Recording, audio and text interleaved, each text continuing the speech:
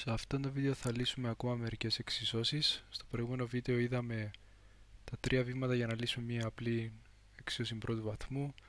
Σε αυτό το βίντεο βλέπουμε ότι στο πρώτο παράδειγμα έχουμε παρενθέσεις, οι οποίες θα εφαρμόσουμε επιμεριστική ιδιότητα για να φύγουν.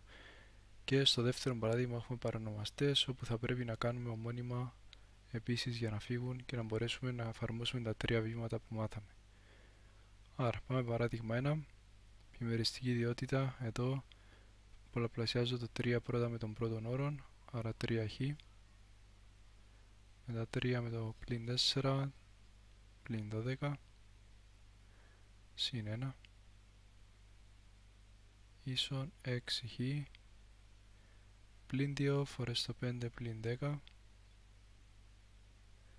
και πλην 2 φορές το πλην 2χ προσοχή είναι εδώ πλην επί συν 4χ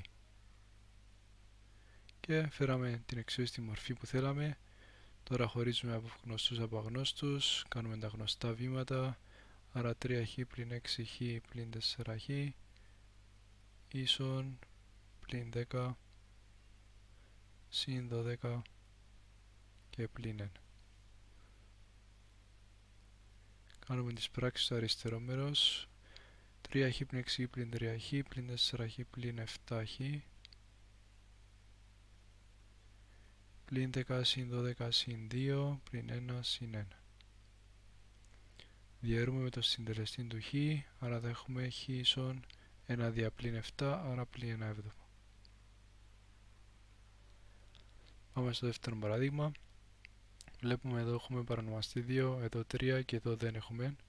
Όταν δεν έχουμε μπορούμε να βάλουμε τον αριθμό 1 και πρέπει να κάνουμε ομόνιμα σε όλους τους όρους της εξίσωσης και εδώ και εδώ και στο 1 παρόλο που δεν έχει παρανομαστεί. Το ελάχιστο κοινό πολλαπλάσιο του 2 και του 3 είναι το 6. Το 2 για να γίνει 6 πολλαπλασιάζουμε επί 3, εδώ επί 2 και 6. Άρα 3 φορές το χ 3χ πλην εδώ προσοχή το 2 πρέπει να πολλαπλασιαστεί με όλο τον όρον άρα καλύτερα να βάλουμε 2 παρένθεση 2χ πλην 1 για να μην γίνουν λάθη και 6 φορές το 1 6 πάλι έχουμε παρενθέσεις. 3χ επιμεριστική ιδιότητα πλην 4χ